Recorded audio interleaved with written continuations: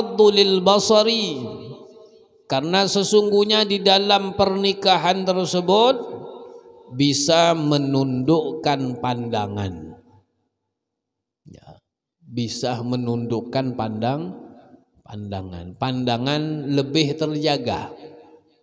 Mata itu lebih terjaga.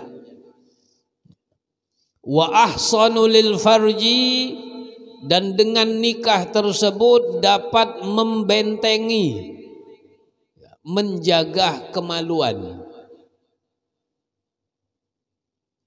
Wa man lam yastati' fa alaihi bisawmi dan barang siapa yang belum mampu maka hendaklah ia berpuah berpuasa. Fa innahu lahu wijaun maka sesungguhnya puasa tersebut bagi si pemuda itu merupakan benteng. Orang kalau berpuasa itu syahwatnya lemah. Ya.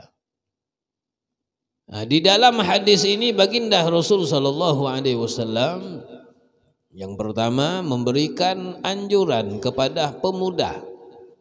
Ya, pemuda itu mereka yang sudah masuk umur balik. Ya, mulai dari Eh, balik umpamanya balik umur 15 ya pemuda itu disebut 15 20 21 lah. Ya kalau 7 masih apa namanya tuh uh, mumayyiz ya 7 tambah 7 14 14 ditambah 7 lagi? 20 sah 21 ya nah dari umur 14 sampai 21 itu remaja. Ya orang yang sudah eh, kalau di umur-umur ini kan biasanya nih dahsyat. Ya karena di dalam pernikahan itu kata Nabi Shallallahu Alaihi Wasallam dapat menundukkan pandangan seseorang. Wa farji dan dapat membentengi kemalu kemaluan. Wa man lam yastati fa alaihi bisawmi fa lahu wija dan barang siapa belum mampu kata Nabi maka hendaklah ia berpuasa karena puasa itu dapat membenteng membentengi. Ya kalau umur muda lebih bagus lagi. Ya.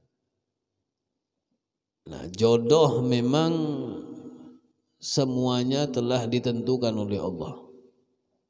Ketika kita berada di dalam janin seorang ibu di umur 4 bulan, sebagian mengatakan 4 bulan 10 hari, maka ketika roh ditiupkan, maka kita ini akan diberikan ketentuan ya, diberikan takdir oleh Allah Subhanahu wa taala. Yang pertama bikatbi ajalih. Allah tentukan ajal kita.